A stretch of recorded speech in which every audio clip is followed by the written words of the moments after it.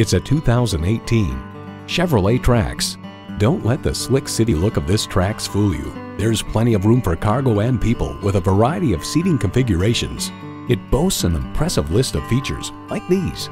Intercooled turbo inline four-cylinder engine, manual tilting steering column, Bluetooth wireless audio streaming, manual telescoping steering column, Apple CarPlay Android Auto, Chevrolet MyLink voice activation, aluminum wheels, remote engine start, and OnStar 4G LTE Wi-Fi hotspot. Car and Driver notes that Trax is designed to appeal to an audience that places a priority on style.